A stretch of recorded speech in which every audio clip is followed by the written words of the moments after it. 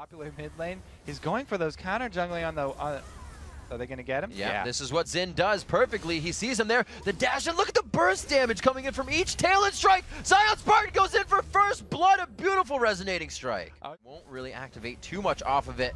A good dodge there. Brunchu playing careful, wasting the ignite from Fat there, but Zion Spartan coming in. Oh! Oh, he hits the Q again!